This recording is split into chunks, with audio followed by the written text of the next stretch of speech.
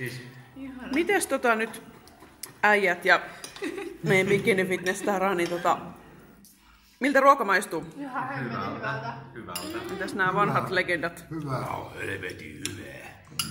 Miten me sanottiin äsken, että tää on tota paska hotelli, mutta hemmetin hyvä henkilökunta.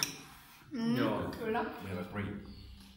Meillähän on täällä piirakkaa, jonka hote- hotellin omistaja Omistaja. on leiponut Joo. meille.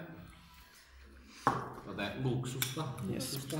Mun lautuselta löytyy Ja hotelli on saanut Pottumuusia nimensä vihollinen. omistajan äidin nimen mukaan. kyllä Joo, jotenkin sinne päin. pottumuusia, aika hyvät annokset kanaa, salaattia, valkosipuli kastiketta, terveisiä kähmään, sitten leipää ja tosiaan löytyy hedelmää ja meillä. Siinä on meidän pronssimitalista.